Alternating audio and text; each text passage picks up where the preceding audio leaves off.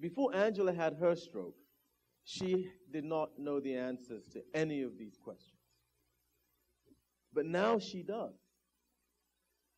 Now she bought herself a $30 blood pressure machine from her local Rite Aid pharmacy, and she measures her blood pressure at least once a week.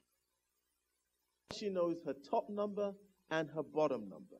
She even knows her body mass index or BMI. She knows her fasting blood glucose. She knows her cholesterol level, including her bad cholesterol level and her good cholesterol level. And she also knows when her next doctor's appointment is going to be.